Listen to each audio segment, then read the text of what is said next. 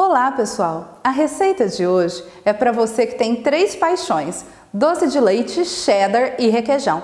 A pizza vai ser montada com esses ingredientes para você agradar a todos os paladares. Nada mais, nada menos do que três amores.